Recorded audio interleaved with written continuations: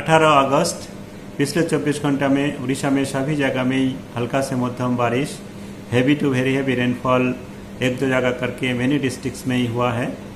Highest बारिश था तेलकोय में केवंजा डिस्ट्रिक्ट में 182.6 मिलीमीटर उसके बाद कटक डिस्ट्रिक्ट का बांकी में 182.0 मिलीमीटर बोलंगीर डिस्ट्रिक्ट का गुड़भिला में 139.8 मिलीमीटर पूरी डिस्ट्रिक्ट का पिपली में 122.0 मिलीमीटर हमारा भुवनेश्वर सिटी में भी रेनफॉल हुआ है 63.8 मिलीमीटर स्टेट एवरेज रेनफॉल हमारा था 32.1 मिलीमीटर स्वाभाविक होता है 12.8 मिलीमीटर तो साउथ वेस्ट मानसून एक्टिव था. अभी हमारा लो प्रेशर एरिया जो है north west bay of Bengal adjoining Orissa north Orissa and west Bengal coast का पास में है. तो इसका प्रभाव में नेक्स्ट 24 आवर्स तक हमारा सभी जगह में बारिश heavy to very heavy rainfall भी मेनी डिस्ट्रिक्ट्स में ही होने का चांसेस है।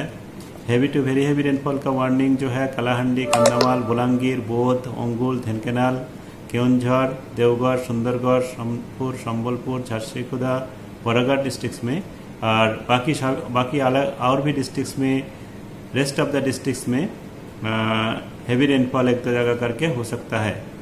फिर कल से रेनफॉल एक्टिविटी रिड्यूस हो जाएगा। कल केवल एक दो डिस्ट्रिक्ट्स में, जैसा नवरंगपुर, नवापरा बरागढ़ झारसीगुड़ा सुंदरगढ़ में एक दो जगह में हैवी रेनफॉल हो सकता है।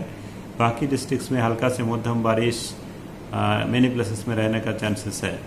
फिर ट्वेंटी से twenty twenty first twenty second बीस से हमारा बाईस तक रेनफॉल एक्टिविटी कम ही रहेगा। केवल स्कैटर्ड वे में हल्का से मध्यम बारिश होने का पॉसिबिलिटी है।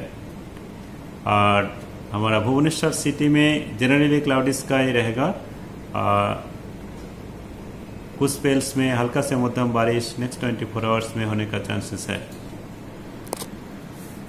ଗଞ୍ଜାମ ସମାଚାର ଆପଣଙ୍କର ଲାଟେଷ୍ଟ ଖବର ପାଇଁ ଲାଇକ୍ ସେୟାର ସବସ୍କ୍ରାଇବ୍ ଏବଂ ଫଲୋ କରନ୍ତୁ ଗଞ୍ଜାମ ସମାଚାରର ଫେସବୁକ୍ ୟୁଟ୍ୟୁବ୍ ଟ୍ୱିଟର ପେଜ୍କୁ ଅଧିକ ତଥ୍ୟ ପାଇଁ ଭିଜିଟ୍ କରନ୍ତୁ ଆମ website W W W dot Ganjam Samachar dot com Thank you.